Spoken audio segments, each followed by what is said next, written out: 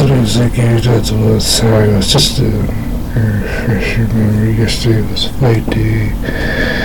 I was thinking, uh, okay, took dog out for like a good walk, do my normal routine, dog walk and eat, shower and all that, pull covers back, and then about mid afternoon went out did run the wall like okay.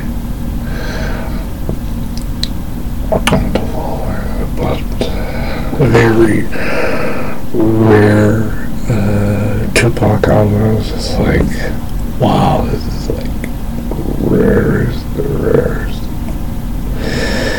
And then we went to Super Circle Club, liquor store, came home about three o'clock.